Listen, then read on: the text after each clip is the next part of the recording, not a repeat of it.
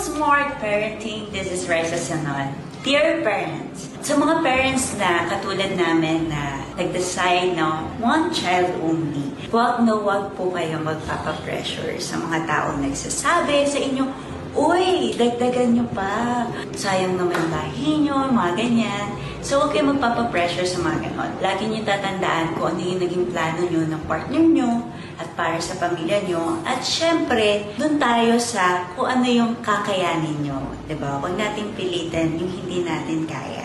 And syempre, pag buwan lang, magkakaroon tayo ng quality of life na kapag napaaral natin yung isang anak natin, magkakaroon pa tayo ng time para sa sarili natin or sa family natin at sa mga plano pa natin sa buhay, ma-achieve natin lahat yon. Kaya go lang and wag magpa-pressure, okay?